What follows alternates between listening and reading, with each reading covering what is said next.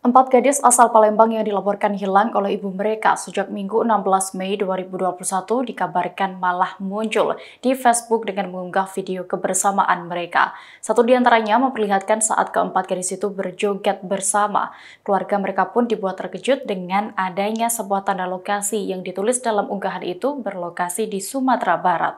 Dalam video tersebut, mereka berempat berada di suatu lapangan yang terdapat rumah di kanan, truk besar di bagian kiri. Dikutip dari sripoku.com, di belakang keempatnya juga nampak pemandangan perbukitan. Lilis Suryani, ibu dari Yunita Malasari, satu di antara ABG yang dilaporkan hilang menangis terseduh-seduh melihat video yang memperlihatkan anaknya dan ketiga temannya sedang bersama-sama. Bagaimana tidak, keempatnya bukan mengabarkan secara jelas keberadaannya, para ABG itu justru memamerkan kebersamaan mereka melalui akun Facebook Yuni Anggraini. Hal lain yang membuat keluarga terkejut karena terlihat ada sebuah tanda lokasi yang ditulis dalam video berlokasi di Sumatera Barat.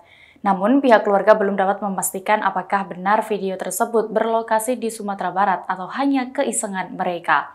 Dari informasi yang diterima, video tersebut dikirim oleh teman mereka yang masih bisa melihat aktivitas akun tersebut pada Rabu 19 Mei 2021 malam, kemudian mengirimkannya kepada keluarga mereka. Sementara itu, Kasubdit 3 Jatan Rasdit Reskrim Mumpolda Sumsel, Kompol Christopher Panjaitan, dugaan awal pihaknya menyebut keempat anak tersebut berada di luar kota. Namun pihaknya belum bisa memastikan posisi sebenarnya keempat ABG tersebut.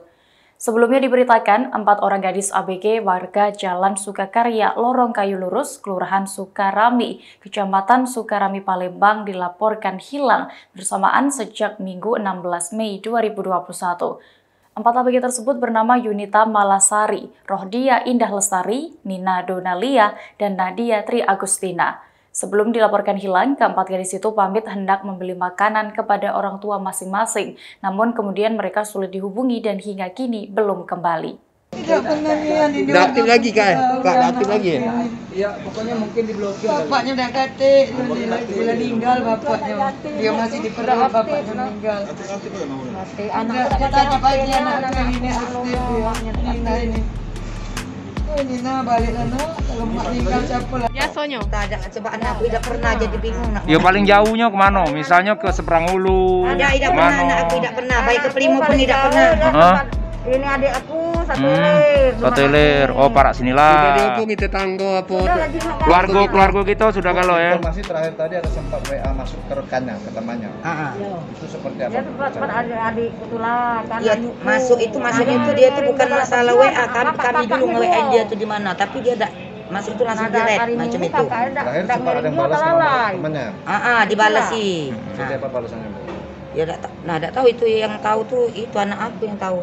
Oh, mereka berempat itu bawa handphone semua bu ya? Cuma cuma, cuma orang tua yang bawa. Oh, Siapa yang bawa handphone itu? Nina sama Yuni. Yun. Baju mereka apa ada yang seperti dibawa atau cukup baju yang di badan waktu pergi? Ada tak baju yang dibawa kira-kira dari Ah, lemari dia stok baju. Ah, ada bawa tas kecil, tapi tidak tahu kan cuma sikot yang bawa tas itu. Bu, Tidak. mer- mereka minta uang tak sama ibu bu sebelum Kalau sama aku tidak minta dia. Tidak minta. Tapi pamitnya dia nak beli model. Ya beli model. Hari Minggu itu bu ya. bu, apakah curiga, apakah pacarnya apa gimana? Kalau anak aku belum pernah cewek-cewek jadi bingung aku nak ngomong. Demikian Tribun News Update kali ini, nantikan informasi terbaru lainnya hanya di channel Youtube tribunnews.com. Terima kasih sudah nonton. Jangan lupa like, subscribe, dan share ya.